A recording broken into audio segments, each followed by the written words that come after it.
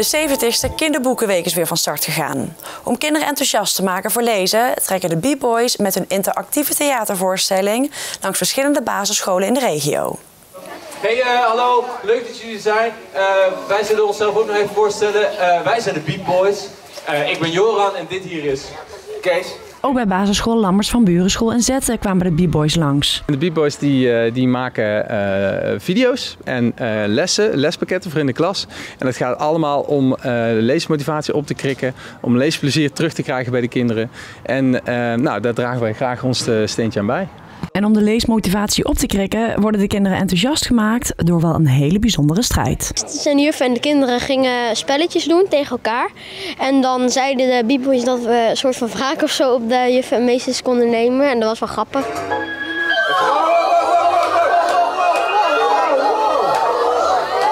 En zoals ieder jaar bij de Kinderboekenweek is er een speciaal thema. En dit jaar is het thema... Lekker eigenwijs. En wat is lekker eigenwijs?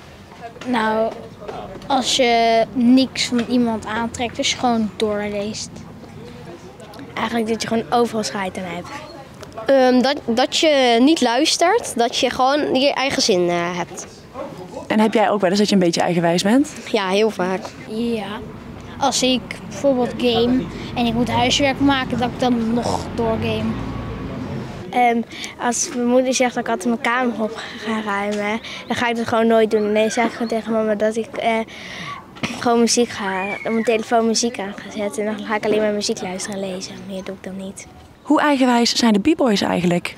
Ja, dat is best wel op ons lijf geschreven natuurlijk. Uh, ja, wij zijn best wel eigenwijs denk ik. Zeker in de dingen die we, eh, die we doen. We vinden het vooral leuk om dus dat plezier aan te wakkeren bij kinderen. En dat doen we op een hele speelse en, uh, en grappige manier. Dat doen we in onze video's. En daarnaast hebben we dan in onze lespakketten doen we iets serieuzer. En kan ook de leerkracht daar dan mee aan de slag. Ja, en vandaag hebben we een Beat Boys boekshow gedaan.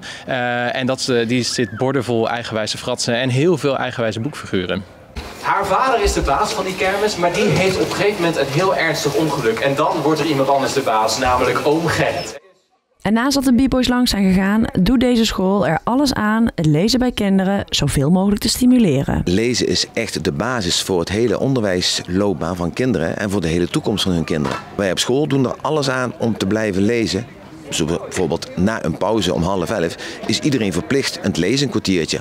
Ook de leerkracht is dan aan het lezen. 14 Claudia!